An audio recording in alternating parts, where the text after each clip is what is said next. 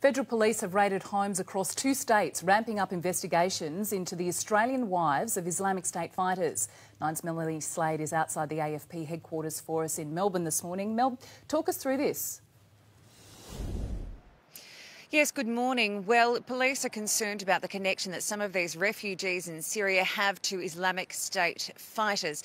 Of course, the AFP here, number one priority is to look after the safety of those here in Australia, but they also try desperately to try and minimise any potential terror risks.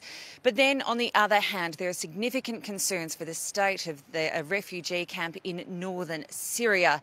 Among those stuck at that refugee camp are 20 women and 47 children all with Australian citizenship.